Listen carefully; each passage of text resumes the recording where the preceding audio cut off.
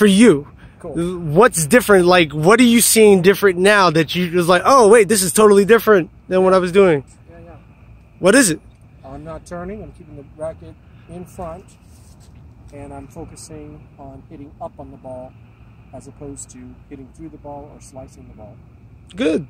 That's the actual lesson, right? But was it anything you were expecting, or was it just totally? Wait a second. This is Completely different. Completely different. Never, never heard it before. Never heard it And before. I've watched a shit ton of it. a shit ton. All right, so I guess this is a positive review. Oh yeah, definitely. Uh, so one out of five. Five out of five. All right, thanks a lot, Huu.